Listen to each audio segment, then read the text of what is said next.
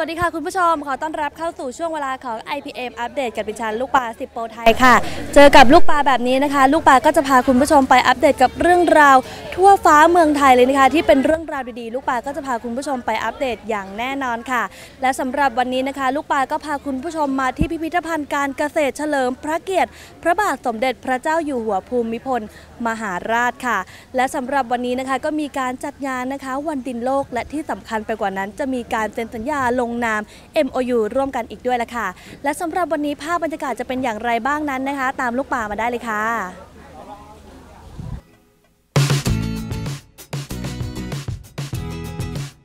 พิพิธภัณฑ์การเกษตร จัดงานแถลงข่าวมหกรรม ภูมิพลังแผ่นดิน และพิธีลงนามบันทึกข้อตกลง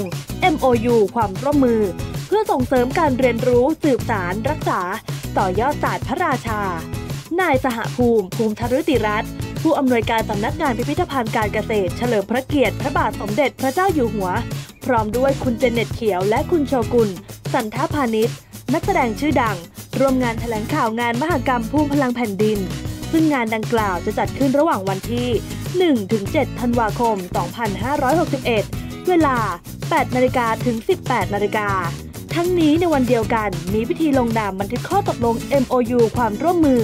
ระหว่างพิพิธภัณฑ์การเกษตร และกรมส่งเสริมการปกครองท้องถิ่น กระทรวงมหาดไทย เพื่อเผยแพร่พระอัจฉริยภาพของพระบาทสมเด็จพระเจ้าอยู่หัวรัชกาลที่ 9 และขับเคลื่อนนโยบายการเรียนรู้ศาสตร์พระราชา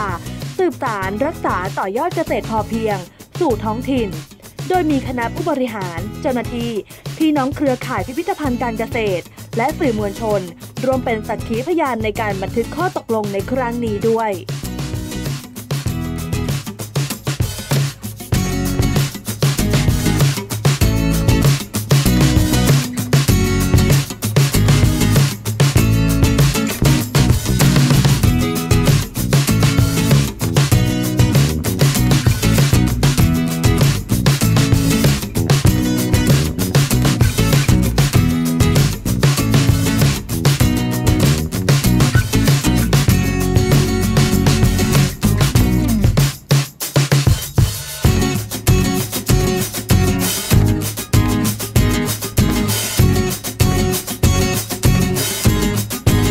ปกติแล้วเนี่ยในภารกิจของพิพิธภัณฑ์การเกษตรเฉลิมพระเกียรตินะครับ ก็จะเป็นการที่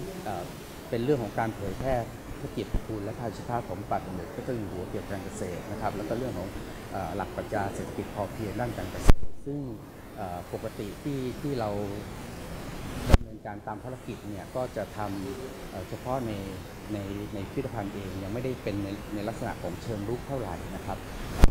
ก็จะมีบ้างก็คือในเครือข่ายมีเครือข่ายที่อยู่ตามภูมิภาคนะครับ แต่ครั้งนี้ถือเป็นครั้งแรกของการที่เราทำความร่วมมือในการที่จะขยาย